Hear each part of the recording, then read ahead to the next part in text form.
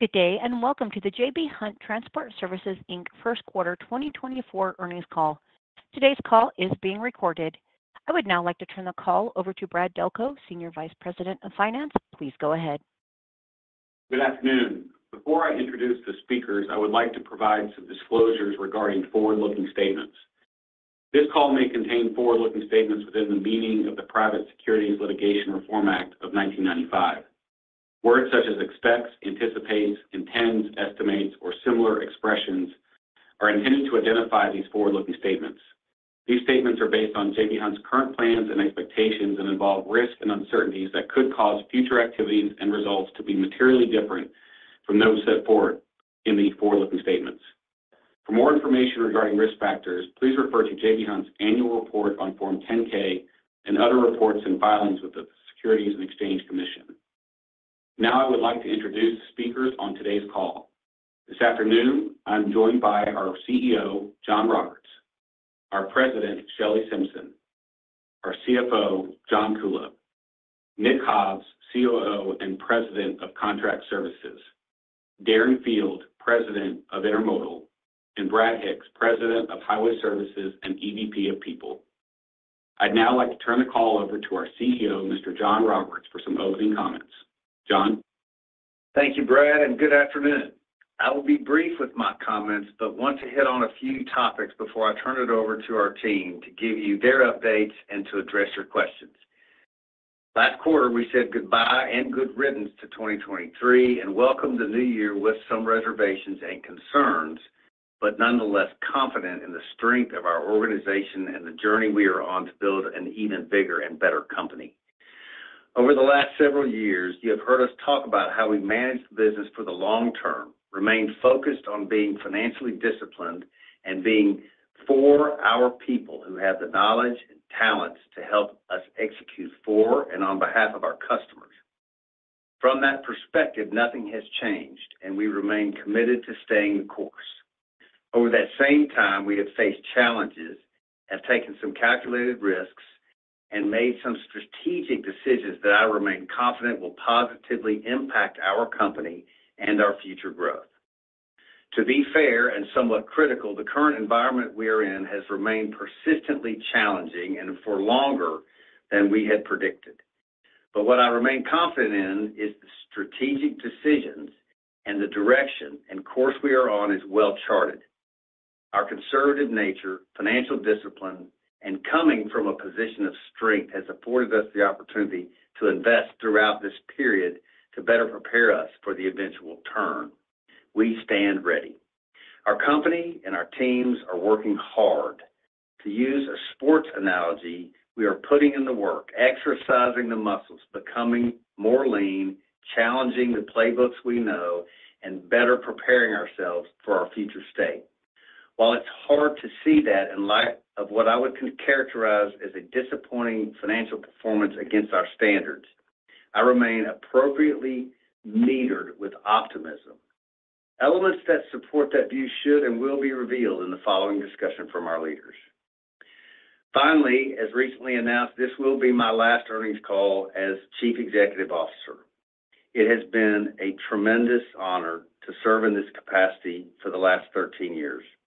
Our board of directors has taken a very thoughtful approach to succession planning and has tremendous confidence in my successor and our entire leadership team. So now I'd like to turn the call over to our President and incoming Chief Executive, Ms. Shelley Simpson. Thank you, John, and good afternoon. As John made pretty clear, the market continues to be challenging. We remain focused on what we can control and how we position our business to deliver exceptional value for our customers and shareholders over the long term. The challenge we face today as an organization is managing the business to best prepare us for future growth while balancing the need to manage and control costs in the near term. To be clear, the strategic opportunities we have across our business segments gives us great confidence in our future success. Last quarter, we introduced our priorities for 2024. Our focus as a management team and an organization is to execute on these priorities, which, as a reminder, are: one, to deliver exceptional value to our customers through operational excellence. Two, scale our long-term investments in our company foundations, which are people, technology, and capacity. And three, drive long-term compounding returns for our shareholders. Markets are always hard to predict, even more so over the last several years, given the wild swings we have seen on both the supply and demand side of the equation. One thing we know for sure, markets ultimately return to some balance after overcorrecting on one side or the other. We continue to view the market as out of balance, and customers have been and are taking advantage. We've been surprised by the competitiveness in the bid season thus far. We can't predict when the current rate environment will change, and as a result, we remain committed to our efforts to control our cost. Importantly, though, we are doing this without sacrificing the long-term opportunities for our company to grow and generate greater returns for our shareholders. In fact, I would argue we've only enhanced it during the first quarter with some of the investments we've made, most notably our purchase of the Walmart Intermodal container fleet. We are also adapting in how we approach our customers and contracts in terms of our commitments. We will always be long-term focused and strategic. That said, we will have to be thoughtful in how we work with our customers. Our management team and business leaders are intensely focused on our cost efforts while maintaining discipline on our long-term growth and return on capital thresholds. In closing, I remain confident in our strategy and approach to manage through this part of the cycle. We continue to make thoughtful and disciplined investments that will only enhance the future performance of our company. While the magnitude of this part of the cycle has certainly been more severe, both in terms of depth and duration, we strongly believe in our ability to outperform the market on service quality, value, and growth. We have and will continue to prove our ability to deliver outperformance for our people, our customers, and our shareholders. Our confidence is in our people, our experience, our complementary businesses, our scale, and our financial strength, which uniquely positions us for our future. As we've said in the past, we remain committed to disciplined investments in our people, technology, and capacity, but we will continue to challenge ourselves on our costs. I am confident that we will be better positioned as a result coming out of this part of the cycle as we continue to pursue our vision to create the most efficient transportation network in North America. With that, I'd like to turn the call over to our CFO, John Kuhlow. John?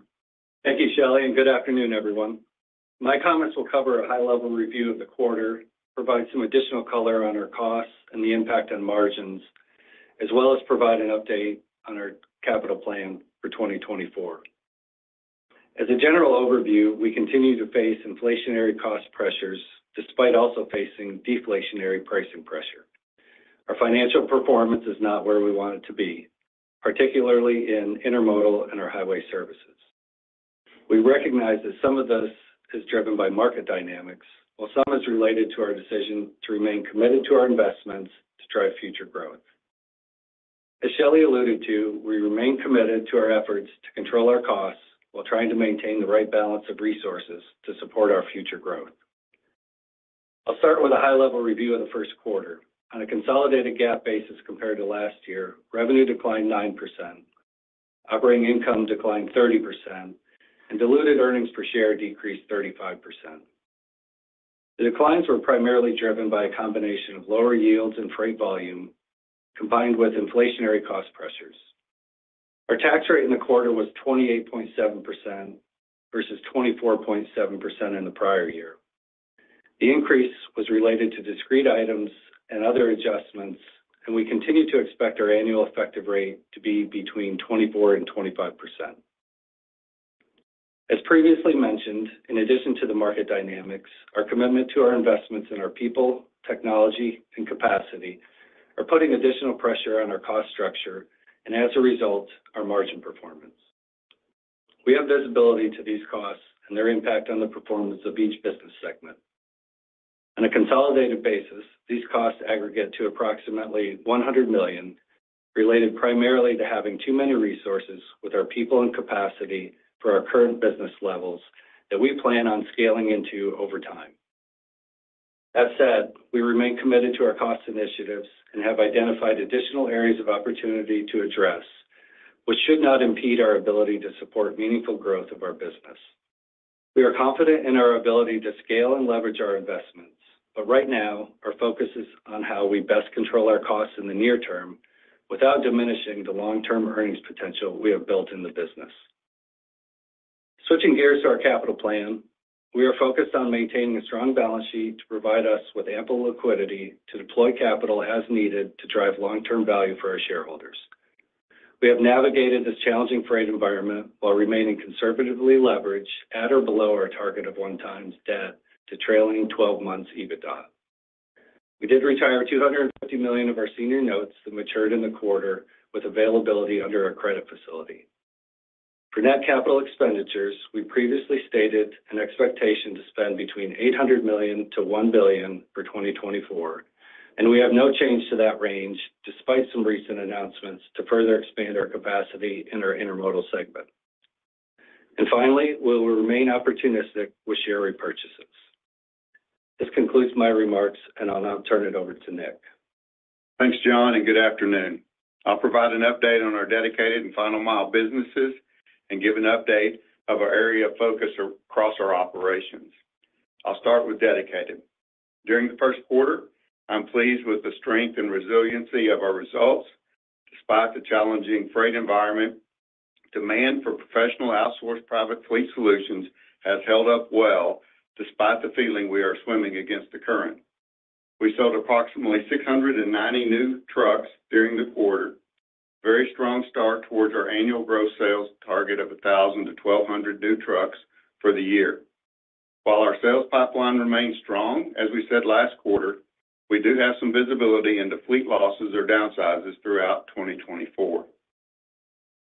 This strong start in sales gives us some confidence in backfilling these losses over the course of the year. We are seeing some signs of stabilization in terms of our fleet sizes across our accounts, although our customers continue to feel pressure in their businesses. While moderating, we continue to see some fleet downsizing due to business activity, but also some bankruptcies here recently. We continue to remain disciplined on the types of deals we underwrite without sacrificing our return targets, and pleased with the activity and recent sales we've been able to close in our pipeline. We remain focused on delivering value to our customers in this environment and maintaining the business, knowing it will support our future growth. Going forward, we remain confident in our differentiated model that has proven its resiliency in this tough market, and our ability to compound our growth over many years and further penetrate our large addressable market.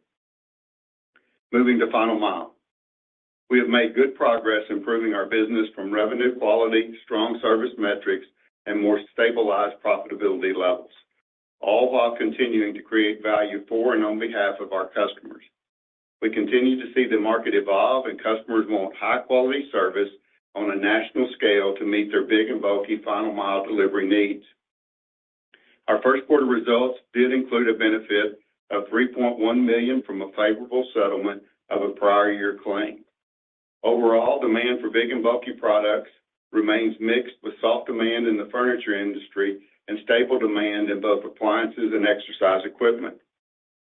Overall, we are modestly encouraged by our sales pipeline, and we continue to see new brands engage in discussions with our team. Our focus in this business continues to be providing the highest service level with a strong focus on being safe and secure as we deliver products into the homes of our customers' customers. We will remain disciplined with new business to ensure appropriate returns for our service, while staying focused on growing the business and improving profitability. Similar to last quarters, I'll close with some comments on safety. Aligning with our company foundation of taking care of our people, but also the motoring public, we continue to invest in employee training and new equipment and technologies to enhance our safety performance.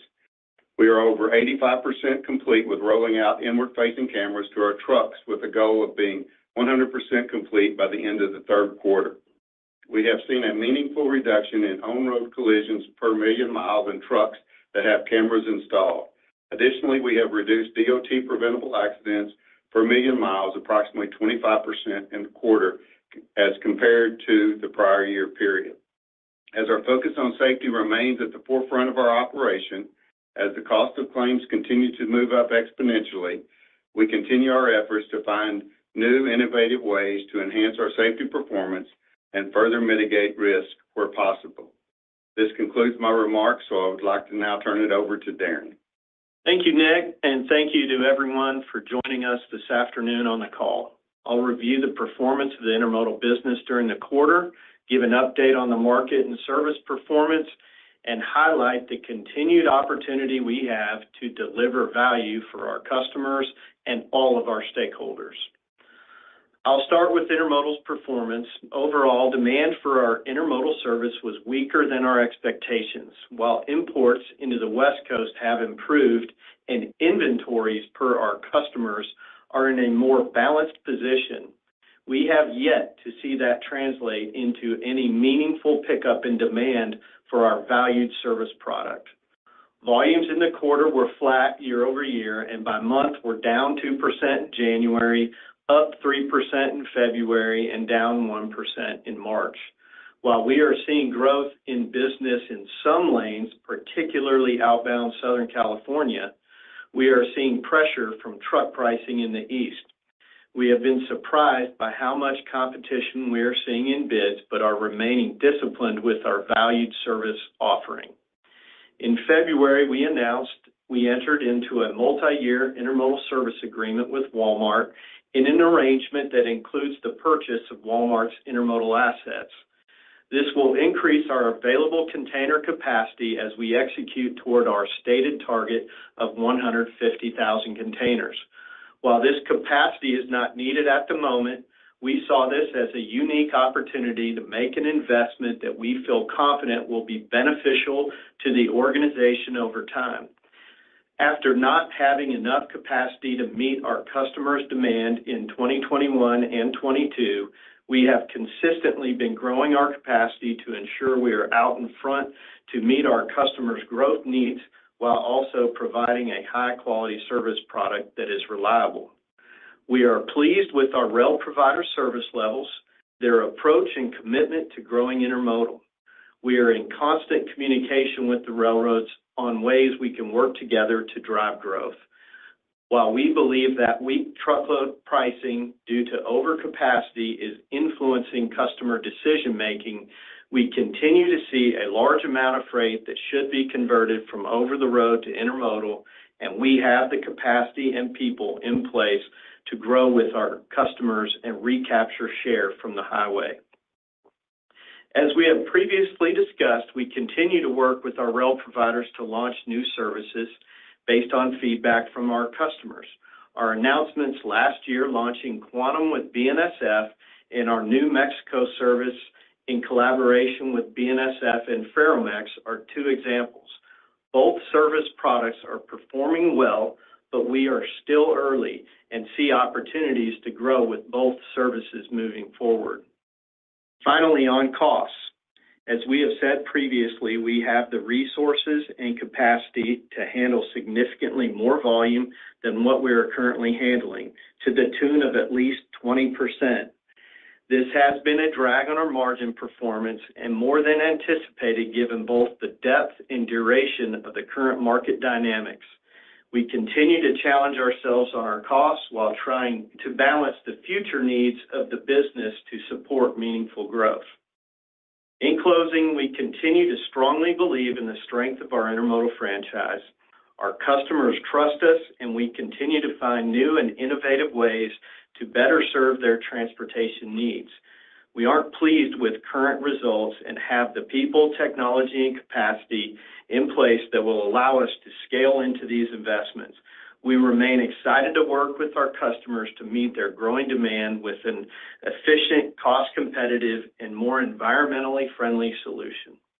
That concludes my prepared remarks, and I'll turn it over to Brad Hicks. Thank you, Darren, and good afternoon, everyone. I'll review the performance of our Integrated Capacity Solutions and Truckload segments. I will also provide an update on some of our work in J.B. Hunt 360. Starting with ICS, and similar to the past few quarters, the overall brokerage environment remains competitive from both a volume and rate perspective. segment gross revenue declined 26% year-over-year in the first quarter, driven by a 22% decrease in volume and a 5% reduction in revenue per load. These figures include the contribution from BNSF Logistics, which contributed a little over 70 million of revenue to our results in the quarter. As we expected, we've had some challenges with the integration of the business, but are encouraged and remain optimistic about our opportunity to penetrate the small and medium-sized shippers through this channel. One additional challenge we faced in the quarter is the proliferation of strategic cargo theft that we have discussed previously, which I'll touch on later in my comments. We continue to make progress on adjusting our resources to our current business levels while driving greater accountability in the business. As everyone is aware, spot rates have and continue to be under a lot of pressure. While some of the weather-driven tightness in January pressured gross margins, looser capacity in February and March helped us recover to some degree.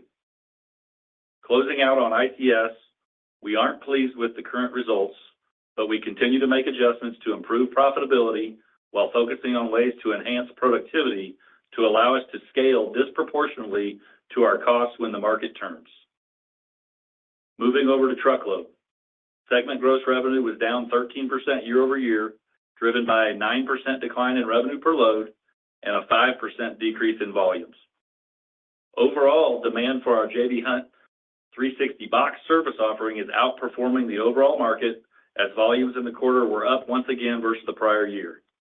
That said, we would characterize demand for drop trailing capacity as soft, as a reflection of our current trailer utilization and what we are seeing in bids.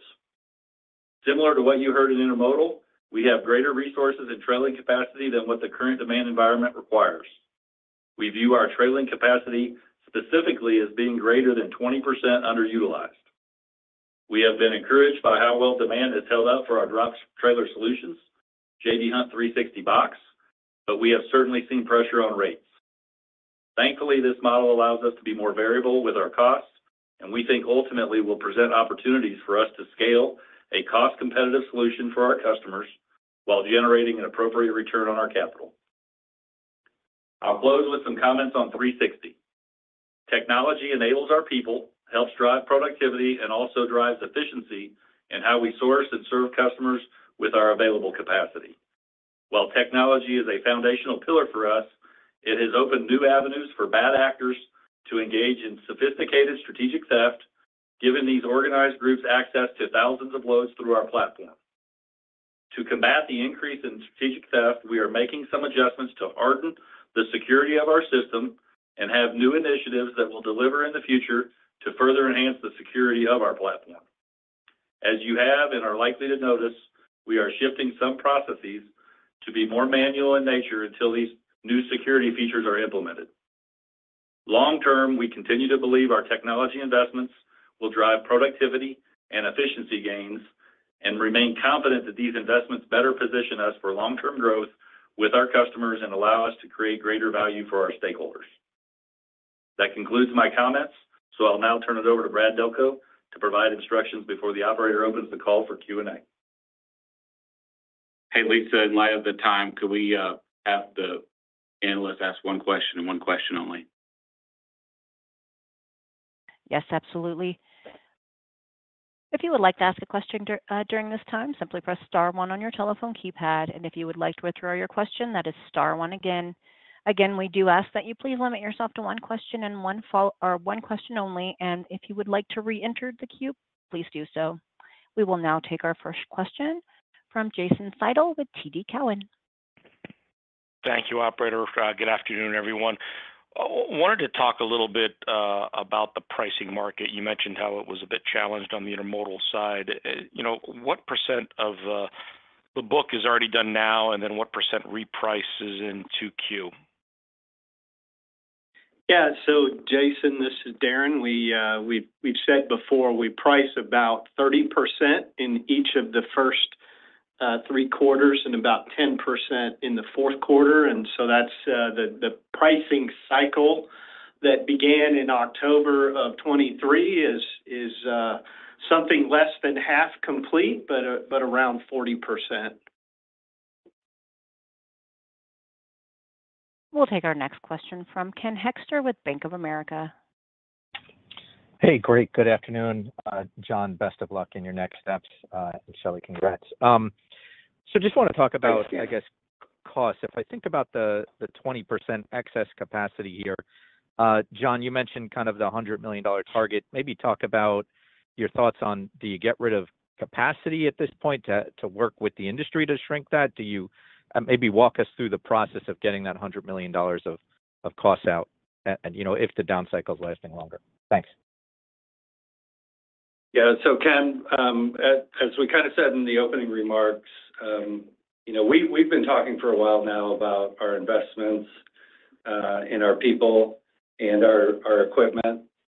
And uh, we thought it would be helpful to provide some, you know, additional transparency on the impact of these investments, and so we've quantified uh, as best we can for that for you. Um, we do have good insight into our productivity and utilization metrics, and um, that's informed us of uh, this cost measure. Um, and so if we were focused on the short term, there could be a different play to call here. But uh, we have a very long-term view on the company and our investments, and we believe in our strategic decisions and Uh, around our very uh, valuable resources. So, um, you know, if there was a, uh, you know, a major economic environmental change, we may consider. But right now, we're focused on growing into this capacity and holding on to our commitments to our people for the long term. We'll take our next question from Brian Ossenbeck with J.P.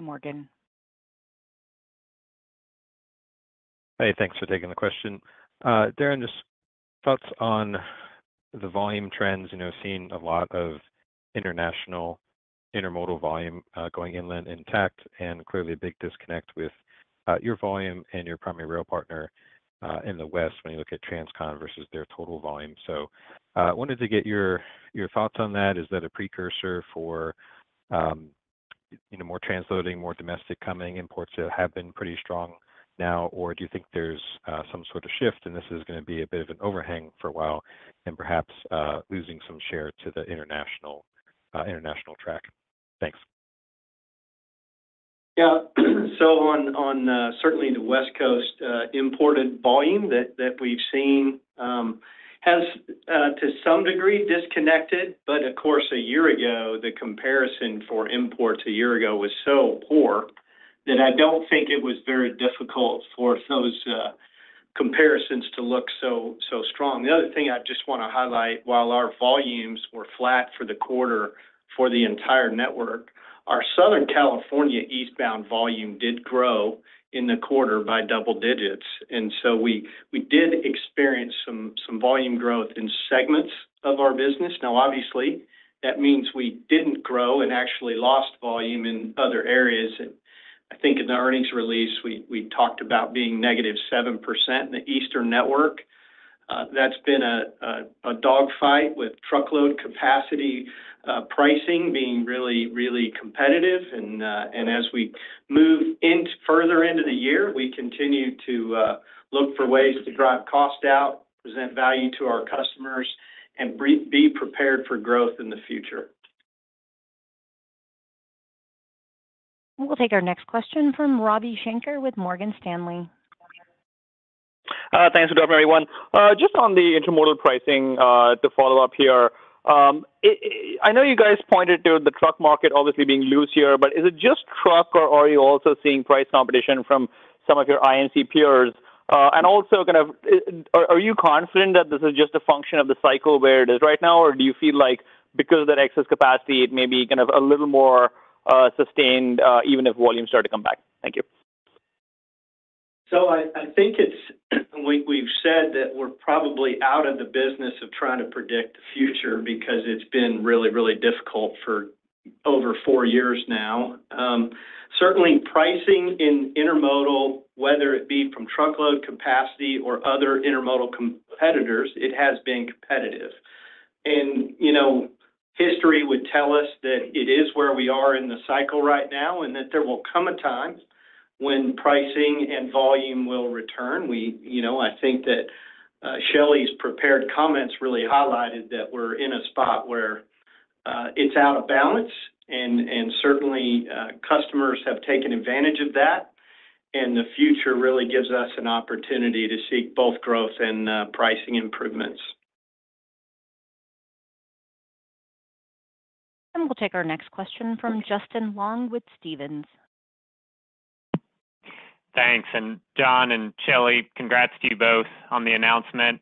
Um, maybe to pivot for a moment to DCS, Nick, I wanted to ask you about the commentary from the prior call that it could be hard to grow dedicated revenue and profitability this year. But when I look at the truck sales in the first quarter, they were pretty strong, and it sounds like you're a bit more confident that you can backfill some of the attrition you see ahead. So when you put it all together, do you feel like dedicated can hold relatively flat in 2024? And and maybe you could just comment more broadly on the competitive environment in dedicated as well. Sure. So, yeah, we had a very good sales quarter. 690 trucks is a good quarter for us, so we're off to a good start. Our pipeline is looking good. Uh, from a competitive standpoint, I would say who we see that we're competing with is a lot of the private fleets. It's not a lot of our publicly traded companies, and so we feel good in that competitive market. Um, and so we feel good about where that's going. And I would say, you know, if you just look at this quarter, we've had some losses from bankruptcies. Uh, we lost our 10th largest customer Um, to that. And so with all that said, with our sales pipeline, we think we'll be able to hold flat, uh, as we've kind of given guidance that we do, I think, towards the year. So, um, feel good about that, where we're at, and uh, the sales pipeline continues to be strong. Hey, Justin, this is Brad. Just to, I mean, consistent with what Nick said, but I think our direct comments last time were, hey, in light of our visibility to some fleet losses, Uh, it would be difficult to grow. Um, but I think most of the market has interpreted that as relatively flat. I don't know that we want to be on record providing guidance for that, but I would say the pluses or minuses, uh, since we've previously stated that, I think clearly the sales performance in DCS coming out of Q1 is a lot stronger than we anticipated. We talked last year about some the pipeline being very strong and some bigger deals being in there. Obviously, some of those landed. But I would also say, so that's the positive side. On the negative side, and this was in Nick's comments, we have seen a pickup in some bankruptcies, and so that's uh, maybe a little bit of a negative to offset some of the positive on the on the new sales uh, performance that we've seen to start the year. So just want to add that in. Okay. We'll take our next question from Tom Wadewitz with UBS. Uh, yeah, good afternoon. Uh, I wanted to ask you a little bit more about the Walmart contract. I think the way you talked about it in the prepared remarks um, was along the lines of adding containers. My understanding was that you were also adding new freight uh, along with those containers. So I wonder if you could just give us a thought on kind of, you know, how well utilized were the containers that you're bringing on, and how should we think about the pace of that? Is that something that kind of ramps across a couple quarters? Um, and I would think that'd be big enough to see in your volume numbers, but just really wanted to see if you could give us a bit more perspective to understand that. Uh, and also, you know, I'd be remiss if I didn't say something, just, you know, congratulations, John, and, you know, uh, uh, Shelley, congratulations to you as well. Thank you. So on the Walmart agreement, you know, it's a confidential agreement between us and Walmart, so I'm gonna be pretty limited in what I would say there. Certainly, the opportunity to grow uh, towards our 150,000 container target uh, with capacity that existed in the market um, was a unique opportunity for us uh, that has been in a dialogue for some time. Certainly, that didn't get created in the first quarter. That's certainly when it got announced. And uh, we're really um, encouraged by what it will mean for the long-term future uh, value we can we can build from that program.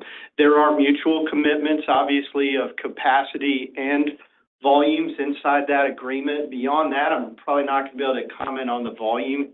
What I would say from a timing perspective, I think we've shared that, um, it'll onboard to our fleet over the course of a year. That doesn't mean much of it will be in storage and uh, will go um, potentially unutilized until we can can grow into the capacity. Uh, certainly, um, I think uh, the... What was the last part of the question? Drawing a blank here. Tom, can you repeat the last part of the question? Yeah, I think just trying to figure out, is this something that we would see affect the volume numbers as it builds through the year? I think, you know, it's that's been our expectation, that you would be big enough to actually see it in the volume numbers, but wanted to see if you could offer a thought on that, too. Yeah, I probably really can't comment on the volume uh, related to it. Certainly, we're uh, uh, looking to grow with all of our customers. Yeah, and then while we're on this topic, I do want to link maybe, Tom, that question with the earlier question to John Kuhlow about how we're approaching capacity and our investments. And this, to me, is an example. You know, you've seen um, us really temper down the pace at which we are adding containers.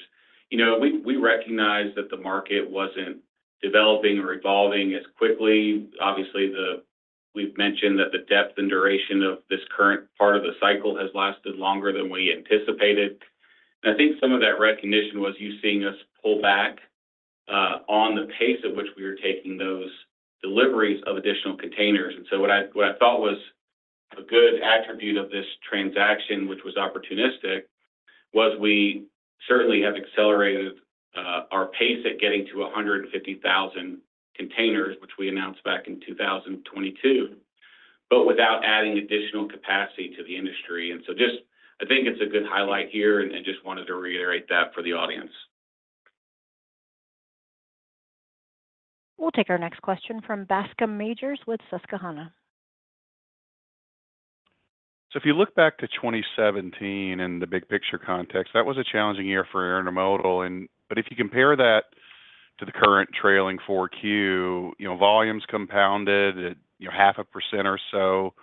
Yield is driven, you know, high single-digit revenue growth, and profit compounded at, for intermodal, about 4%, and that's after adding back the insurance cards last quarter. And and I realize this, you know, just raw look at the numbers, a lot of this is due to the railroad-driven circumstances outside of Hunt's control. But, you know, if this backdrop of less structural growth and more cyclical volatility continues to be the norm into next year and beyond, how do you manage your operations and capital allocation priorities differently over the long term? Thanks.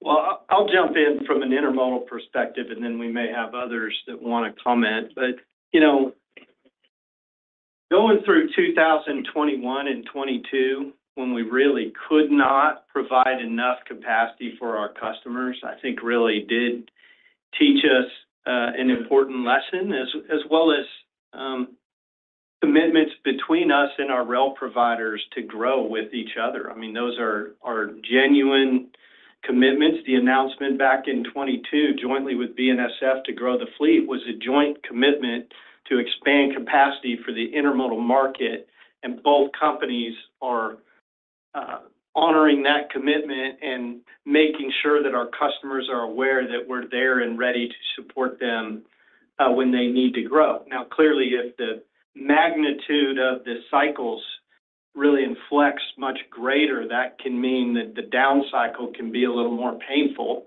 and then it's hard to be out in front enough to cover the upcycle. And so we will, we will certainly adapt as best we can. We'll continue to work with our customers to ask for better forecasts and how can we get better identification and of the opportunity. But we know this, when we're there to support our customers' growth demand, it certainly uh, bears fruit for our shareholders over the long term as those customers just gain more and more confidence in our ability to serve their needs. Might just add, in terms of the capital allocation, and John Kuhlow, you can add to this as well. You know, think about our different businesses.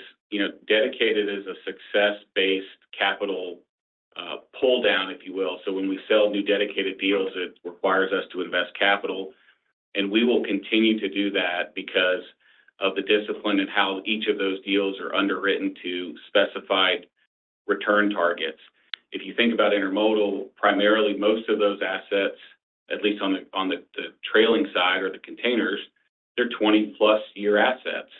Uh, we've obviously are way out in front of what investments are needed to support our growth there. And so then it's a matter of, you know, what's the right um, replacement cycle for our tractor equipment, and what's the right balance of what we're utilizing, maybe the 360 platform for in sourcing third-party capacity, whether it's an intermodal dray or other parts of our network. And then finally, where we would see capital is uh, growing 360box and the trailing equipment. So I think there's a lot of flexibility in terms of how we deploy capital.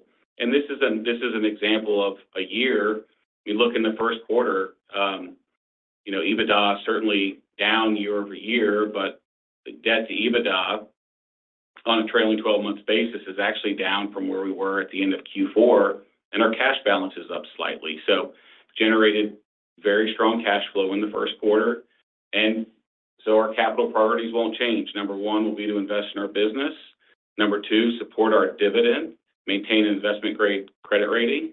And number three or number four would be to opportunistically buy back stock. And every once in a while, you know, we do see uh, inorganic inorganic growth opportunities, but that's not really at the core of who we are. And so that will kind of continue to be our discipline going forward. We'll take our next question from Scott Group with Wolfe Research. Hey, thanks. Afternoon, and best of luck to you, John. Congrats, Shelley. Um, I had a near-term and then a bigger picture question. So, you know, just to help set near-term expectations, should we expect intermodal rev per load and intermodal margin to improve sequentially from Q1 to Q2? And then just bigger picture, you guys just keep talking about the depth and duration of the cycle, longer or worse than you thought. I guess, what's the catalyst for this to change, right? It's not... You know, the overall economy is fine. It's not like we're in a recession, and there's some V demand recovery coming. So what what actually, in your mind, is gonna change? Is it is it possible, I guess, just like, you know, we're it feels terrible versus 2021 and 2022, but maybe those were just unprecedented years that we just need to ignore. I don't know. Scott, I'll quickly jump in on your first question around Q2 versus Q1. You know, we're a non-guidance uh, organization, and we're trying hard not to be predictive. Um, you know, certainly, we would history would tell us that volumes in Q2, uh, on average, are better than Q1. That doesn't mean I'm telling you that Q2 would be better, but history would suggest that's been the case. And so, uh, beyond that, we don't have enough visibility into pricing at this stage to make any prediction as to what would happen with that. Hey, Scott, now I'll take the second part of the question. You know, if you think about the last four years, I said this in my opening comments, that the highs and lows have been more dramatic than by any time period in my 30-year career. And so our ability to predict has been very difficult. We have seen periods of positives that then quickly fall off. And so I think you see a management team here knowing what our customers are asking us for in our future, but being cautious about any positive signs that we could be seeing as we've seen some of those retreat several times over the last couple of years. And if you think about what's happening in the market, there's an oversupply of capacity, and that's not exiting quick enough. That's an important component uh, for all of our businesses across all five of our segments. I also think uh, what's happening from our customers' feedback and what feedback they're giving us on confidence for us to be able to grow, even in the middle of a freight recession. So how can we think about that differently? That's why we are so focused on delivering great service and more value for our customers. Um, and also, the confidence our customers build over time in our ability, J.B. Hunt and the railroads, to deliver really great service for a longer period of time. I think our customers, over the last several years, have struggled with gaining the right level of consistency and service from intermodal, collectively, from the railroads and J.B. Hunt, and that's something that's going to take us time to win back their confidence. So I would say those are all the things that we're watching and talking to our customers about. I will say this, and we also said this in our opening comments, you know, that our customers are giving us good feedback. It has been a difficult more competitive bid season than what we expected, but, you know, we're managing through that. We're working with our customers, and we're really trying to think about what's best long term for both them and us. We'll take our next question from Jordan Alliger with Goldman Sachs. Yeah. Hi, good uh, afternoon. Hang on one sec.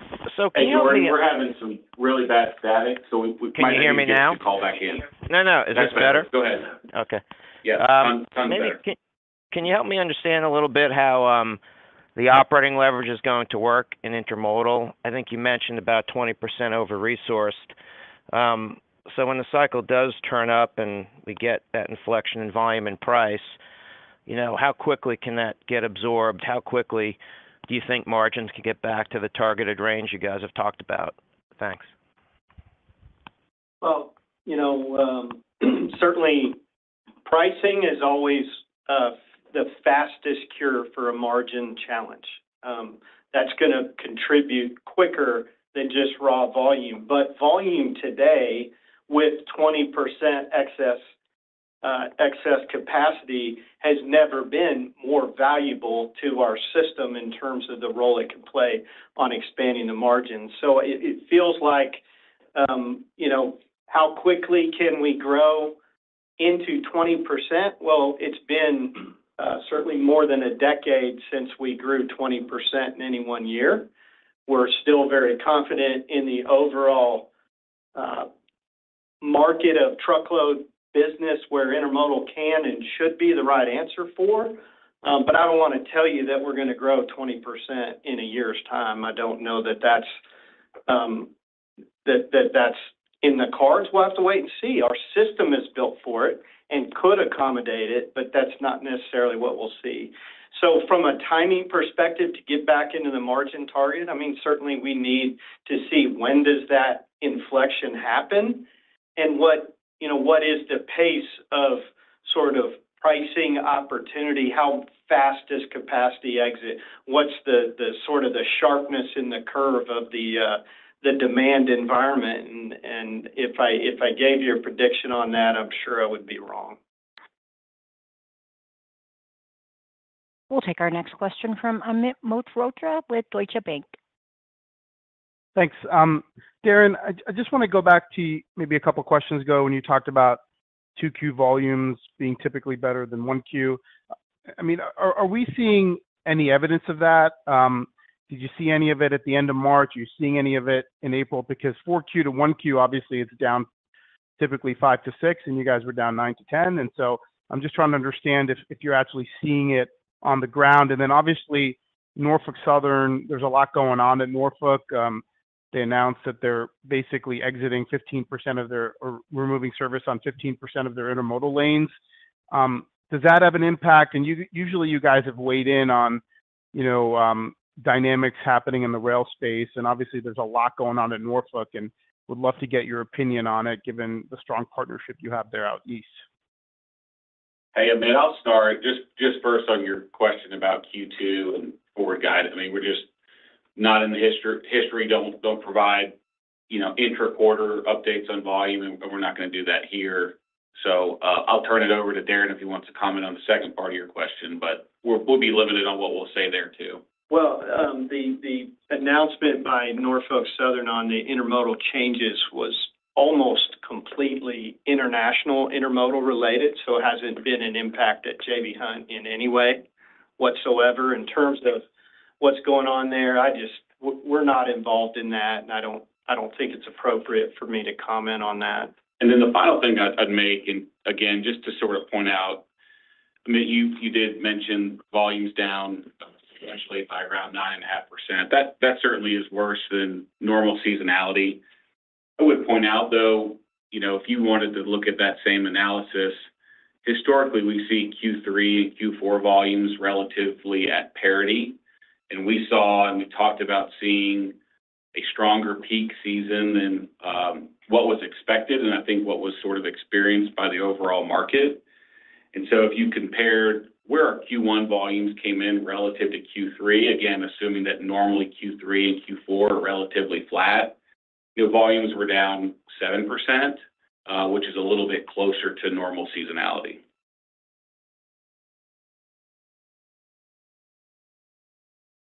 We'll take our next question from Jon Chappell with Evercore ISI. Thank you. Good afternoon.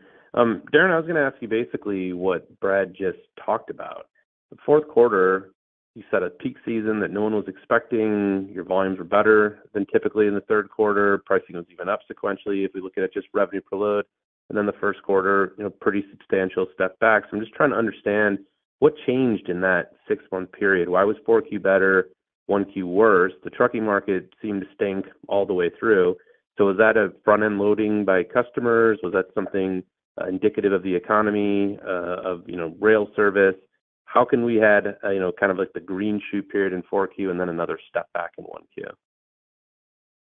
Yeah, I think you're asking the same questions that we ask to our customers throughout both events. I mean, the fourth quarter Uh, uptick in demand for us was a surprise, and our system was able to accommodate capacity to execute on it.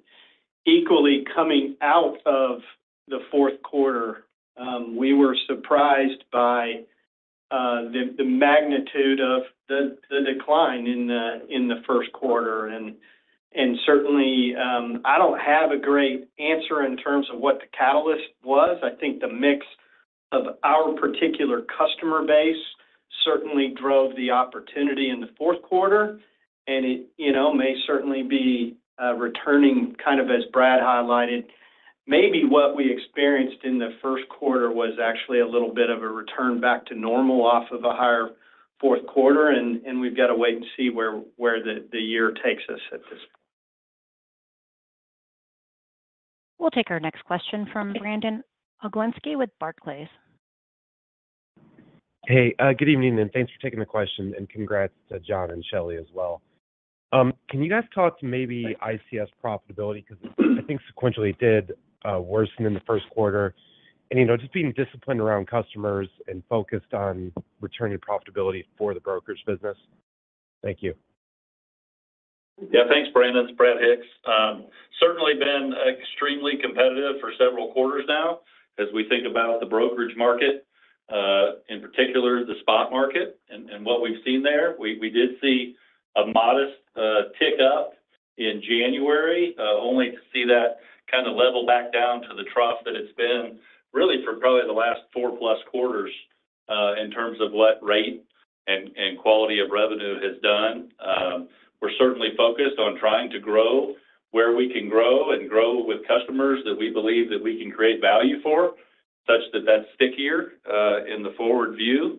Uh, as I've mentioned in previous quarters, those that we supported at their time of greatest need uh, have seemingly gone the way of finding the the lowest cost solution that they can possibly find. And and that certainly harmed our business, our volumes, but do feel like our gross margin recovered throughout the quarter.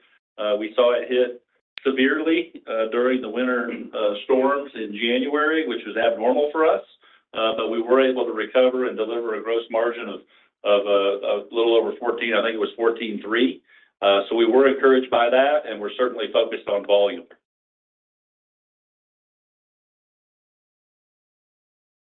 We'll take our next question from David Vernon with Bernstein. Hey, good afternoon, and um, thanks for taking the question. Um, so you mentioned in the press release the disload approach uh the disciplined approach to the market for the value of services in the intermodal segment. Um, I'm just wondering if you can give us some expectations around kind of how you're approaching the market the rest of the year. Anything you've learned out of bid season that would speak to kind of what the volume outlook might be, you know, for full year intermodal growth uh, in the segment? Yeah. So, you know, I think that uh, the pricing that we issued early in the bid season, we did, um, we had some some surprises with the results, and it was really competitive, and we were surprised by um, the magnitude of some of the truckload opportunity, uh, truckload rates from truckload competitive uh, competitors out there. And that certainly um, has has helped us to identify, can we can we offer shorter-term programs to our customers as we move forward? Are there opportunities with our rail providers to uh, participate with us in a way that we can be more competitive? And we're seeking all of those opportunities, uh, one opportunity at a time, one customer at a time, and we'll uh, continue to do that and see where we land as we move throughout the year. Thank you. We'll take our next question from Jeff Kauffman with Vertical Research Partners. Thank you very much. And, uh, John, congratulations, and Shelley, big fan, congratulations as well to you. Um, my one question is the following: um, You mentioned growing out the franchise, the focus on the longer term. I was a little surprised to see trailer count down so much sequentially from fourth quarter. Are we basically saying the trailer pool experiment is done, and we're going back to something more normal, or is there anything driving that that would be uh, something worth noting? So, Jeff, I think you're talking about the end of period versus the average. Yep. Is that right? Well, it's down about 1,700 units. Um, so I was just kind of curious why it was down so much, given the trailer pool growth that we'd seen in that division for the last number of quarters. Yeah, yeah. I'm showing what we reported at end of period for Q1 for our truckload segment at a little over 13,000 trailers, which is just down 100 from same period in 2023. Um, Uh, apologies. I was looking versus fourth quarter, but I can come back to you offline. I was just a little bit- Yeah, Jeff, let's cover that offline. I think we did have some trailers that were transferred over to DCS. So if you notice, the DCS trailer count is higher, and that's a lot related to uh, some of the business that was transferred at the start of uh, 2023. Um, if you recall, we moved some business out of JBT into DCS, and some of the ownership of that trailer stayed in uh stayed in JBT for the year, and we transferred those over. Yeah, and let me just add, per my opening comments, that we do have excess capacity, and so we're making good company-wide decisions around where we can utilize those in the short term. But in no way are we abandoning our 360box strategy. As I mentioned, we actually had volume growth inside of the network that that box strategy supports, and uh, we remain very encouraged about that service offering. That's the context I was looking for. Thank you. We have a follow-up question from Tom Wadewitz with UBS. Let's let this be the last question, if that's possible. Absolutely. And our last question will come from Tom Wadewitz with UBS. Yeah, great. Thanks for giving me a chance to the follow-up question. Eh, there was some discussion on bad debt expense. It sounded like it was meaningful. I think you referred to, like, the tenth largest customer in Dedicated. Um, and so I'm guessing that was maybe an effect, a meaningful effect on the margin in 1Q. Can you give us any quantification how big that was, you know, year-over-year or absolute, just so we could kind of think about, you know, potentially parsing that out or just understanding that impact? Thanks.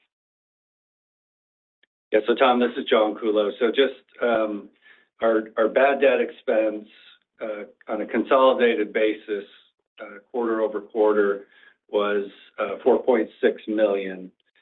We had a reversal in the prior year, first quarter, excuse me, first quarter of around 1 million, and we had uh we charged $3.6 million in the first quarter of this year. And Tom, most of that would have been in DCS? Primarily in Dedicated.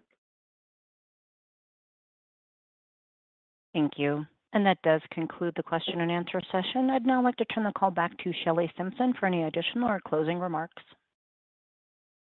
Thank you, and thank you, everyone, for joining the call. You know, it's uh, here we are in going on two years of a really difficult freight market. And the hardest freight market, I think, in my 30-year career, and I think certainly for the entire leadership team. And it's hard to see what's really happening good when you see financial performance struggling as a result, but we did have some really great things I want to make sure to call out for our people. Number one, our people continued to deliver great safety performance as we reduced uh, accidents per million miles DOT preventable by 25%, and that is something important and at the forefront of how we think of our operations. We also delivered for our customers on great on-time service, and that's their expectation, that we continue to deliver value, and that's where we're going to be focused. We've talked a lot about, you know, what we can control, and although we're not pleased with our performance, we are focused on controlling our costs without jeopardizing our long-term opportunity. You know, we're listening to our customers, and they're counting on us. They want us to deliver the right value for them, and we have to make sure that's the right value for us. We remain committed to being long-term in our focus, but being disciplined in our investments. And we want to stay balanced between the needs of our customers and delivering the greatest return for our shareholders. But I want to make sure that I end on this. You know, we talk about being for our people. And if you think about where we're at as an organization, you know, we've been led by four different leaders previous to me, and John Roberts has had the privilege of leading our company for the last 13 years. You know, John is, is one that won't normally uh, turn the spotlight back on him. So since I'm sitting in the seat now, I get an opportunity to do that. In our 13 years, John actually entered the organization um, in that time period into the Fortune 500. We've seen our company grow substantially over the course of period, and we've also seen our shareholders benefit greatly. As I step into these shoes, they are big shoes to fill, but I will tell you, we have great leaders that not only sit at the table with me, but all throughout our organization. Our tenure in the company is, something that's remarkable and something that I think has been tried and true to what makes a culture successful. But I would be remiss if we weren't to say one of our greatest advocates for our people is our still CEO, John Roberts. And I want to make sure I give him uh, an opportunity to address based on being our CEO and spending time doing that. And just want to say thanks on behalf of John, not only our leadership team, but for the 35,000 people that have stood with you for the last 13 years. Um, thanks for everything you've done, and I'll turn the call over to you. Well, I, appreciate that, Shelley. You know, I'm not uh, like I don't like a lot of attention. Um, I'll tell you that it's been the greatest honor of my professional career to get to be a part of and lead this team through some incredible growth years, through uh, some learning years, um, through some evolution. And I could not, even with this quarter and even the last few, as you mentioned, the last couple of years, I could not be more proud of this group of people, all 35,000 of them, for everything that has happened under the banner of our scroll. And the way that we always put our people and our customers first, knowing that we have a duty to return compounding growth and reliable, credible information so that our shareholders, our owners can make good decisions. And I, think that that's something we uh, we want to protect and we want to be candid and transparent. We are, I can say with no hesitation at all, and I've been up here the last couple of weeks hanging around and kind of watching for the things that I look for when I want to see my team win the Masters, win the Super Bowl, win the NCAA tournament. And I, I see it. I see it all. I've seen it really for the last couple of years. But right now, the, the, the fire's hot and our people are responding to that. Our leadership is guiding the way they're supposed to guide. Our priorities are right. And I get to hand this institution, this this brand, to a very very capable person in Shelley. And importantly, she and I both agree neither one of us can do anything without our team and specifically our leadership team. Uh, we have the highest level of responsibility to be sure that we get it right, and when we don't get it right, get it right redirect, evolve. make sure we keep our focus on the right things. It's an honor. I am humbled. I'm amazed. I am thrilled. I am sad. I am uh, all the above. The best news is that I still have a seat at this table. I look forward to being the chairman of this company and, and working in a different capacity, but hope to continue to leverage my 35 years of experience and 25, 13 of which was uh, Ford's running dedicated contract services, where I learned so many things in the last 13 plus uh, being our CEO. Just uh, thank you for um, your trust. I feel like we have uh, we've had a great relationship with you folks, and it's been a lot of fun. Been a lot more fun than it hasn't. It's just not a lot of fun right now. So we got to go to work. So thanks for calling in, and we'll be back with you next quarter with Shelley at the helm. Thank you. And that does conclude today's presentation. Thank you for your participation today. You may now disconnect.